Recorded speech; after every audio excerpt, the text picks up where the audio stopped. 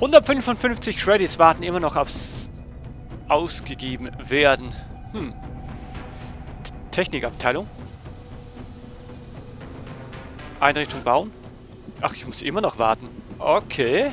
Dann hier in dem Fall nicht ausgeben. Dann versuche ich jetzt mal wieder verdeckte Operationen. Unbekannte Zelle vor Ort. Die Frage ist halt tatsächlich, kann ich nur an einem Ort scannen? Unbekannte Zelle vor Ort, unbekannte Zelle vor Ort, unbekannte Zelle vor Ort. Was denkt ihr? Ist sie in Indien oder in China? Versuchen wir es mal hier. Wobei, Aufklärungsscan. Ich bin unsicher, ob das nur auf das... Ich mache mal einen Aufklärungsscan. Mal gucken, ob es jetzt dieses Mal was werden würde. Aufklärungsscan bestätigt. Ein weltweiter Aufklärungsscan kostet 50 Credits. Er hat letztes Mal schon nichts gebracht. Aufklärungsscan abgeschlossen. Position der Exorzellen bestätigt. Und dieses Mal bringt's was. Okay. Frankreich scheint infiltriert zu werden. Uns läuft die Zeit davon. Die Nerven liegen bei allen blank. Was mich auch ein bisschen erstaunt, ich habe doch gerade 50 Credits dafür gezahlt. Ich habe immer noch 155.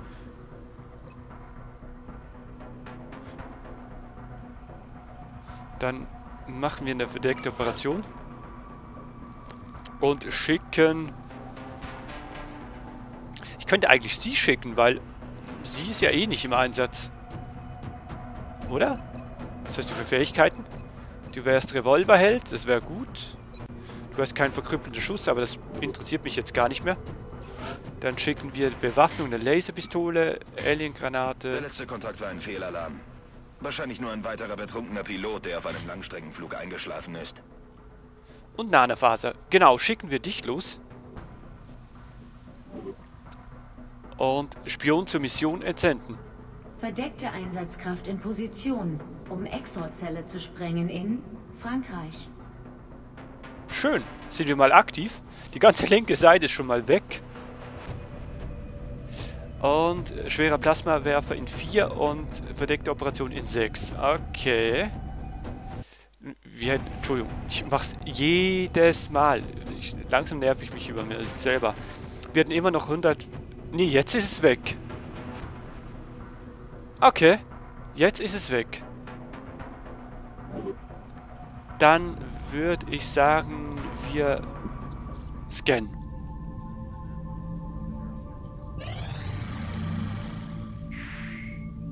Grabung abgeschlossen. Neues Forschungsobjekt. Hier hätten wir den Forschungsbericht äh, Codename Eisvogel.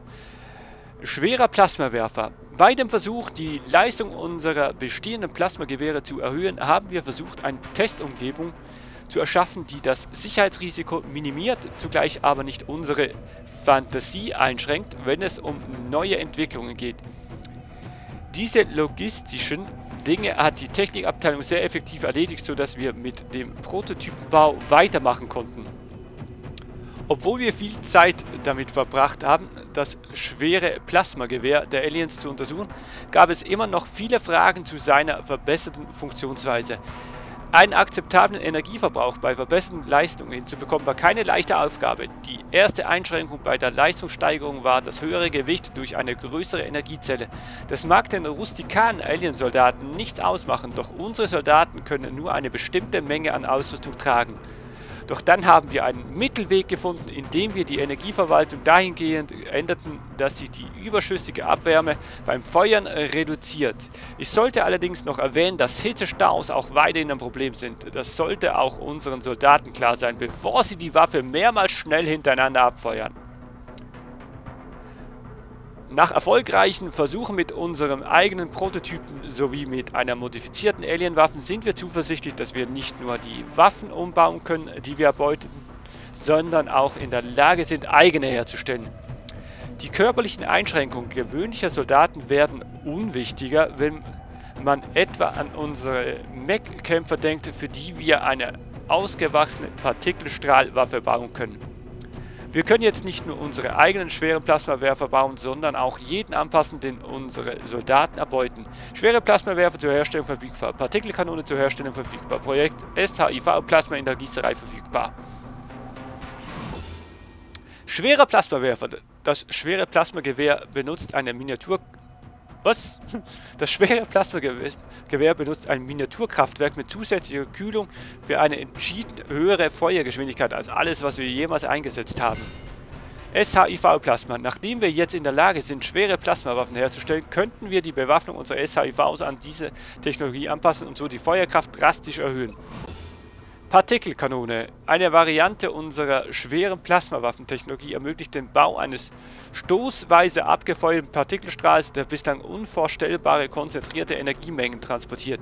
Die Hitzableitung wäre für einen ungeschützten Soldaten extrem gefährlich. Ein Mech-Anzug kann die dafür nötige Systeme mit Leichtigkeit tragen. Gut, gut, gut. Titanrüstung. Ach, Mist, immer noch langsam. Warum hat es nicht geklappt? Schade. Dann nehmen wir das neue Jagdflugzeug. Nach einer extensiven Untersuchung der außerirdischen Schwerkraftantriebe sowie ihrer Energie- und Navigationssysteme glauben wir, dass es möglich sein sollte, Aspekte ihrer Technik in eines unserer eigenen Flugzeugmodelle zu integrieren. Ich, ich habe zwar immer noch keinen gebraucht, aber Einrichtung bauen. Einrichtung bauen hier könnten wir jetzt 175 Credits. Schade. Dann nehmen wir gleich das nächste ausheben. Jetzt sind wir wieder bankrott.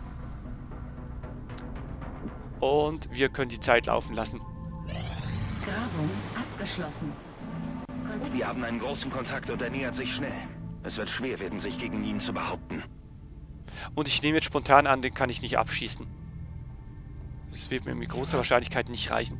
Schicken wir zuerst die... Schicken wir zuerst die Phoenix-Kanone. Kaum sage ich, dass ich vermutlich nie dazu komme, den abzuschießen, kommt schon einer. Wir sind dran. Wir nähern uns dem Ziel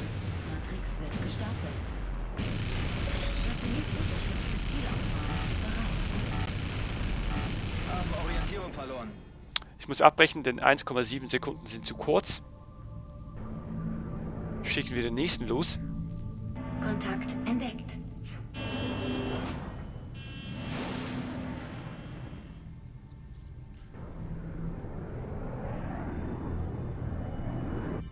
Feind ist anvisiert.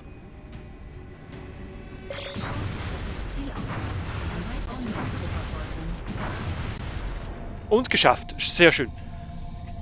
Abfangjäger hat das Zielufer abgeschossen. Die Überwachung meldet Bewegung der Aliens an der Abschussstelle. Abfangjäger wurde beim Zusammentreffen schwer beschädigt. Also zwei, beide.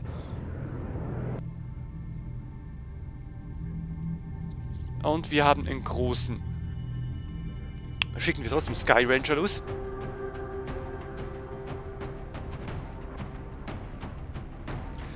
Und jetzt ist die große Frage. Soll ich das genauso lassen? Ich würde es eigentlich gerne so lassen, aber wir haben ja jetzt einen zweiten Scharfschützen.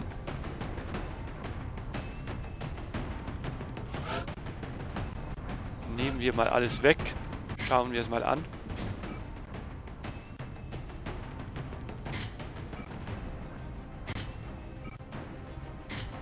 So. Nehmen wir dich mal weg. Hätten wir denn noch einen Scharfschütze? Wir haben jetzt vier im höchsten Dienstrang. Und wir hätten hier nochmal einen Scharfschützen. Das ist ein großes Raumschiff. Soll ich es riskieren?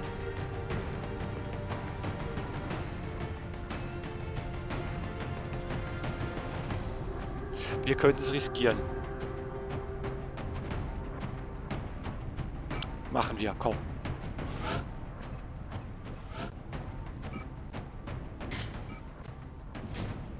So. Wir rüsten dich neu aus. Und du bekommst genau dasselbe, wie der andere bekommen hat. So. Was hast du, du eigentlich für Fähigkeiten? Du hast Truppsicht, Revolverheld, verkrüppelnder Schuss. Und sehr gut. Das sieht doch alles perfekt aus. Dann hätten wir einen Unterstützer. Ein Sturm, ein schwerer, schwerer Scharfschütze, Scharfschütze.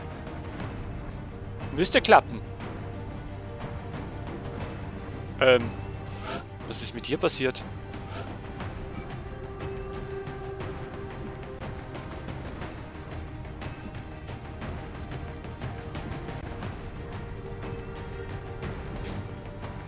Nee, nee, nee, nee, nee, nee. So nicht. Nicht mit mir. Ähm. Wo ist mein eigenes Sturmgewehr? So.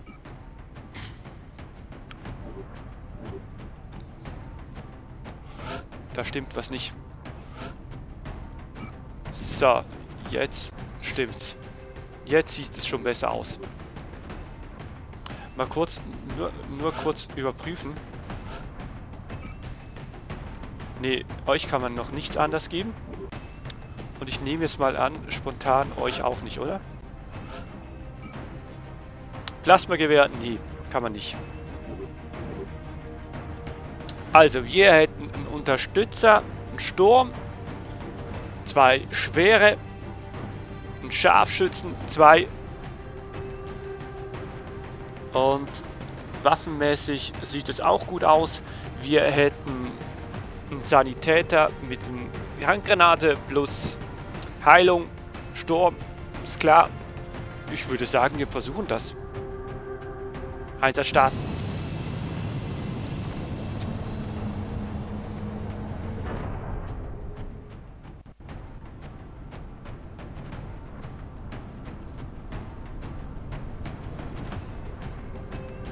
Wir landen.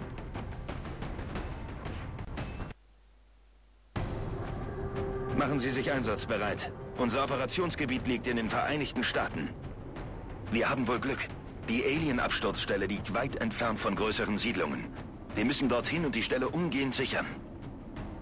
Operation Blendender Dunst. Einsatzbesprechung. XCOM Abfangjäger haben ein Ufer vom Himmel geholt. Es scheint Überlebende zu geben. Positive Meldenergiesignatur. Das Raumschiff könnte verwertbare Teile enthalten. Einsatzziele. Finden Sie das abgestürzte Ufer. Durchsuchen Sie das Gebiet nach überlebenden Alien. Machen Sie sie unschädlich.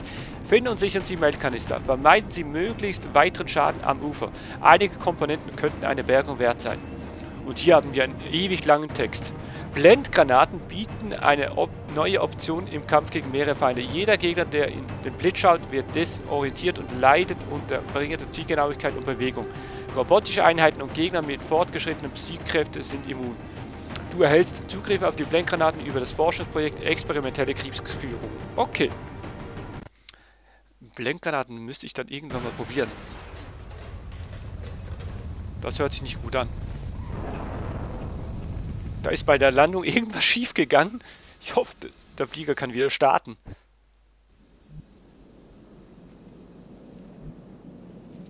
Ui. Ui, ui, ui, ui. Und wir sind Central, hier spricht Big Sky. Keine Feindberührung beim Vorrücken auf die Absturzstelle. Strike One ist bereit, das Raumschiff zu sichern. Verstanden, Big Sky. Strike One hat die Erlaubnis zum Sturm. Wir sind direkt am Eingang. Oh, okay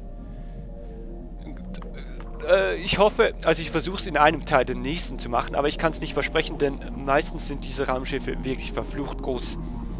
Jedenfalls für das erste wäre es mit diesem Teil gewesen. Ich hätte eigentlich was anderes erwartet als Ende.